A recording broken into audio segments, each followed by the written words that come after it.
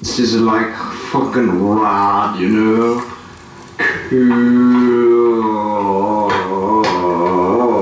Cool. Where's the...